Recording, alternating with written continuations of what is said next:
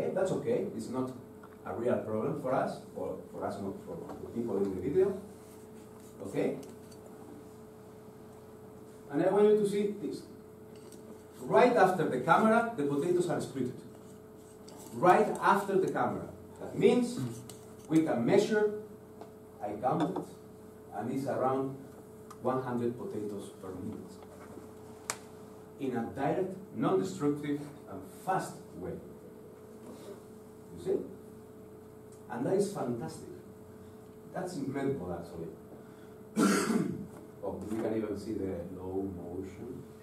And of course, to the operator, all this data is retrieved, is saved, and when they start to, to have problems, because they will probably have some control there, they from time to time take some potatoes and analyze in the lab to see if the model is still working properly and so on. But here we just care about potato speeded up, speeded down. It's good, bad, and that's all. And this is the display. You see? Real time. Okay? So, this is what uh, we basically do in, uh, in food uh, production. Okay? That is implementing these near infrared systems because they are really near infrared systems, but with the uh, acquisition of the surface. Okay? And then we can play as well with the surface. And uh, to show you how we play with the surfaces, I have this example. I'm sorry, this is a little bit of Spanish. Okay? You should uh, learn Spanish as well. It's a very nice language. But it's about bread. Okay? Uh, here in Japan, you consume bread. And the problem of bread is that it gets hard. It gets what we call stale. Hmm? So we have to throw it out. So there are many companies worried about make the bread not hard for longer periods, okay? To keep the softness of the bread. A bread that is flour, water, and salt and some yeast gets hard in one day. But when you buy bread, it gets soft, this, uh, this thing, this, uh, uh, when you go to McDonald's, for instance, this bread is soft, and it was not made yesterday, it was probably made one week ago. Hmm? So, what happens there? That imagine that a company like McDonald's, they want to keep the bread soft as much time as possible. Hmm? So for them, it's important to add something to the bread to make this bread soft more time. So there are companies like uh, Novozymes in Denmark that they produce some proteins, some enzymes that make the bread soft for longer time. Okay? So they ask us, could we check whether a new formulation of protein works better than the other than the old one formulation? So we plan a full design of experiments with three breads, okay? And this is normal bread. That is basically flour, water, and uh, yeast, okay? And this is bread with one type of enzyme, and this is other bread with another type of enzyme, okay? So we, uh, we plan a full design of experiments, and what we did basically is to bake breads with these three recipes, and to check what is the behavior of the surface with time. Hmm? So this is bread A, that is the normal bread, B and C. Okay? This is with enzyme A and enzyme B, or enzyme 1, enzyme 2. Obviously, I cannot tell you the enzyme. First of all, because I don't know it. And second of all, because it's a secret. Okay? But this is a time of storage. One day, 4, 7, 10, 14, 21 days. Okay? So we bake the breads, we store the breads, and then we measure with a hyperspectral system. Here we have sensors, the light, and this is the conveyor belt. Okay? This is a laboratory scale, it's not company uh, scale because they don't really need to implement this method, but they need to know what's going on in the surface of the bread. Okay? So we scan, we obtain the hyperspectral images, and look at this. Normal bread. Can you see the green clusters? Sorry, I cannot show you the spectrum. Okay, I can only show you this. Can you see the green clusters? The green cluster. This is uh, for us to understand hardness. Okay, how many pixels are getting hard with time? Can you see the normal bread? At the end, 20 day, uh, 21 days, it is completely hard, right? But look at the rest of, uh, of the breads with enzyme 1 and enzyme 2. Can you see the difference? It's pretty nice and pretty clear. The advantage is that first, we know how the bread gets hard. Can you see that it's not an homogeneous thing, that it's kind of moving like that? Okay? This is important information for the people baking the bread. Okay? Look at the, the bread, uh, or the bread with uh, B, okay? The same one. It gets hard in the top, but also a little bit in the middle of the bread. And the bread with another recipe, it gets a little bit hard in top. The important thing for the company is that we can count the amount of pixels for each bread that gets hard. And look at this. This is a bread A. It tells me that after one day, half of the bread was already hard. And at time 21 days, 80% of the bread was hard. Okay? But look at the other two recipes. It tells me that after 21 days, the bread stays softer than the normal bread at day one. That's incredible, and this is a really nice information for the company. Okay? Moreover, they are studying why this happens. Evidently, we don't measure only three breads. We have 300 breads. Okay? So we can calculate very, very uh, reliable uh, standard deviations for the counting of the pixels. Okay? But this is another usage of uh, hyperspectral imaging in food. Okay? and now I want to talk a little bit about coffee. You also like coffee. Aso is drinking coffee right now. Okay? And in coffee, I'm not an expert in coffee. There are two varieties of, uh, of beans. Okay? One is called Arabica, another one is called Robusta. What's the difference? What? The difference is that Arabica is really tasty, smells really good, and it really gives you a very nice coffee blend. Robusta, totally the contrary. It's stronger, it doesn't really give you a good taste in the coffee and so forth. The problem is that Robusta is much cheaper than Arabica. So when you buy coffee or an Italian company that is uh, Caffè Molinari, is the company that uh, ordered this, uh, this research, they buy the coffee to Brazil. And Brazilians are very probably cheating a little bit. Okay? So they put Robusta beans inside the bags of Arabica beans. So they wanted a methodology to separate them. To separate and also to tell to the Brazilian uh, producer of coffee, hey, you are putting 10% of Robusta in my bags of Arabica. Okay? But this company generates or treats many coffee beans a day. So we thought, okay, we come back to the conveyor belt configuration and, uh, and with hyperspectral camera. And here you have some near infrared data from Robusta and Arabica. You see that the data is very similar, okay? So, let me explain this, where it is. So, I will explain this. This is some Arabica, this is some Robusta, and the differences in different wavelengths. What was the problem here? The problem is that these cameras are a little bit expensive, and it's hard to, uh, to, to the maintenance, okay? so, there is another version of these cameras that is, instead of measuring all the wavelengths, we can measure only the wavelengths that are really important for us. This is what we call the filter-based configuration. Hmm? Use filters instead of the nice detectors to measure the full spectral range. Okay? So we propose to the company that we can measure the coffee in our lab. This was made in Italy. Okay, it's a collaboration with Italy.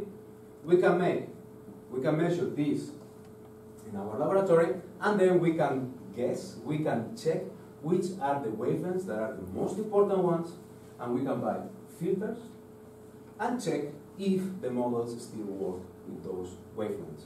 This version is way cheaper. So what we did, we applied something called sparse PCA and sparse PLS, okay? Basically what we do is to uh, become zero the regression coefficients that are not useful for separation, okay? And we obtained that, look, with uh, 32 wavelengths, we obtained the same information as 150 wavelengths, Okay, we keep the same quality parameters. Okay, and when we see here 32 wavelengths, they are not actually 32 wavelengths. They are these wavelengths. Okay, because this near infrared is a continuous spectrum. So what we are interested in is in things, in the maximum. So now we can say that we can buy this, this, this, and this filter, measure and see if we can uh, if we can obtain the same quality parameters. Okay? So this is what we did. This is a little bit a simulation okay, of the data. And I want you to check this image. This is the test image with measuring only four filters. Okay? Only four wavelengths and applying PLS delay. Okay?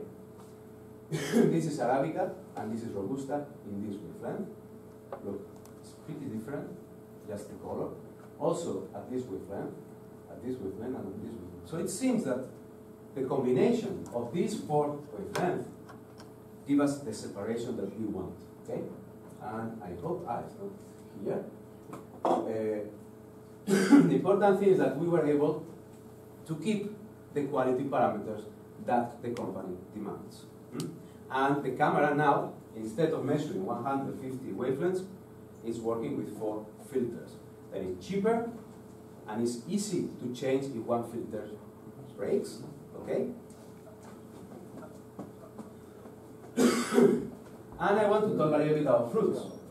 Because in one of the words that uh, hyperspectral imaging is used the most is in post-harvesting. I think here uh, you understand a lot about post-harvesting, okay, about the storage of fruits and uh, things like that. And um, there was uh, another company, Italian company, that they wanted to separate blueberries, blueberries between class 3 and class 4. Class 3, they are very sweet, they are very nice blueberries. Class 4, they are more acid, and they are cheaper. Okay? So they try to mix, they try to mix in the boxes you can buy in the supermarket, they mix these three, these two qualities. Okay? So they wanted a methodology to uh, separate these two classes. Okay? And we, we thought of using this hyperspectral camera. That is a camera that works with LEDs. So it, uh, it works at 19 wavelength. So we have 19 LEDs here. You see the in the video. You see that the, these lights are changing. See that? So we are taking pictures at different wavelengths. Hmm? And uh, for you to have an idea, this is the data. Okay? And I can tell you that with this data, that looks a little bit weird, actually works in the visible range, mostly, with some wavelengths in the near infrared. With this camera, we obtain, look at this, a calibration error of 0.01% and a validation of 0. Actually, it was very simple to separate them because here at 700 nanometers, they are different. They are different because the color is not exactly the same. For us, we cannot differentiate them. But for the camera, it's very easy to spot that at 700 nanometers, we can really separate both classes perfectly. Okay? So now, the company in Italy is using a camera with one LED. Very powerful to separate class 3 and class 4. And this is wonderful, I think. And uh, the last example that I want to put about the food in a hyperspectral imaging is about apples. Okay, and this is actually very easy to, to do because we, do, we did it with the mobile phone actually. One of the things that is getting in fashion, at least in Denmark, I don't know here, is to go to the 7-Eleven and buy the apple that is already cut, already uh, washed, and ready to eat, right? Yeah. But there is a problem with apples and you pro probably know, is that the apples get brown, oxidized in the surface once you cut it and exposed to the oxygen of the atmosphere. Okay? So for the companies, it's extremely important to know, okay, how much the apple stays without changing color. Okay? Or for the consumer, it's really nice to know how much time the apple has been in the bag, for instance. Okay?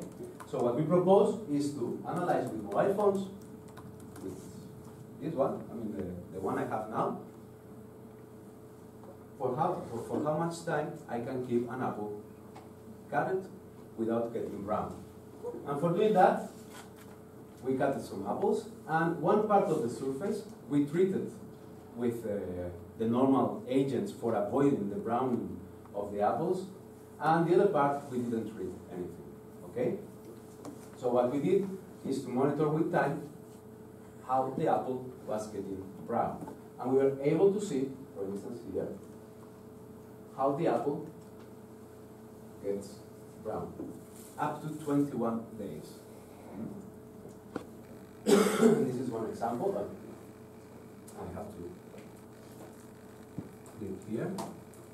Here we are. This is one example in which we can model these profiles. We can propose an equation and we can kind of forecast or predict how the apple will get brown with time. Hmm? By using cameras, digital cameras. Okay? So, I hope uh, you get an idea of what you can do with hyperspectral in food technology because there, there is really a lot of things you can do. Actually, with ASO, I was talking the other day, and there are many ideas already going on. Okay? But the important thing that I want you to transmit is that no matter what you do, there is no a simple solution for the problem. That is, you will have to measure and then to do what uh, Dr. Martin said yesterday. Visualize the data, visualize the data, visualize the data. And this is extremely important for us, okay? Also, when we work with companies or when you work in the lab, you have to you have to find, you have to think about the configuration that better sets for your problem. That is, many people what, what they do is to buy a camera and then find things that they can do with the camera. And this is a problem because maybe what you want to do cannot be done with that camera. So you have to think on your problem and then think of what type of camera you need. Okay? In this uh, presentation, for every example, we almost used a different camera. Okay? That is adapted to the problem we want to solve. Hmm? Also, we love near infrared. The camera that we use, they work with near infrared. So all the theory of near infrared that you have uh, you have heard, you have uh, learned in the school or in the university is valid here. This is just near infrared. Apply it to surface, but near infrared, okay? And of course, when we talk about near infrared, we talk about chemometrics. Because also as yesterday you had an impression, we are not magicians. We don't do magic, okay? We just visualize the data, visualize the data, visualize the data. Hmm? And also, we love linking chemistry with knowledge using chemometrics. Okay? And this is important. We have to be really aware of what is the chemistry of the problem. Hmm? With this, I hope you get an impression of uh, why hyperspectral imaging is very nice. Hmm? And I have a, uh, an example prepared there. But I want you to catch the attention about uh, something that we organized in Copenhagen in May and June. That is something called Copenhagen School of Chemometrics. So if you want to really learn chemometrics, there are two options. When you come with ASO, or you come to Copenhagen. And if you come to Copenhagen with ASO, it's even better. Okay? So uh, you are more, more than welcome to join us. This year we have I think you cannot find better teachers than these ones, especially this one here. It's the best one. Okay? But we have uh, design of experiments with Riccardo Leardi, curve resolution with Ana de Juan. With me, we have regression and hyperspectral imaging. Åsmund Rinnan with uh, variable selection, something that is very important for us. Tormod Næs, that is uh, a very, very well-known professor in chemometrics, and he will give this, the opening speech about what is chemometrics. I don't remember this guy very well, I think. Ah, yeah. It's Professor Bro. that will talk a little, a little bit about exploring data, ECA. That it looks like the simplest thing, but it's the most important thing that we do, actually. Okay? Federico Marini that will talk about uh, linear models together with uh, Age Smilde. Morten Rasmussen that will talk a little bit about linear algebra, and Davide Ballabio that will talk about classification methods. So you see it's very complete, it's five weeks of full education, and I really recommend it. Hmm? And you can find information on our website, okay? And also, I think on Thursday and Friday, we have a course about hyperspectral image analysis, okay? And uh, we will use a graphical user interface that we have developed, okay? And I will show you. You can download it for free. It's completely for free in hypertools.org or also in, uh, in Models Live KUBCO. Okay, it's in the both websites.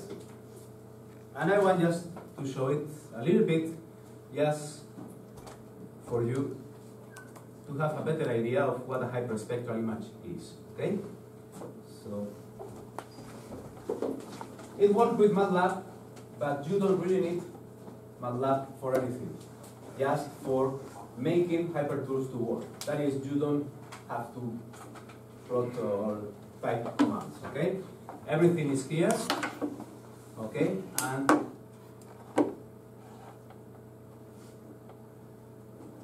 this is gonna be our sample.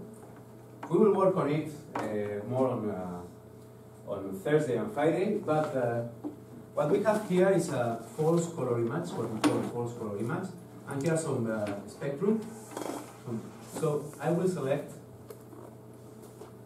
a pixel on the mouse, okay? Okay, you see, when I select different pixels, it's displaying the spectrum of that pixel time. So what we have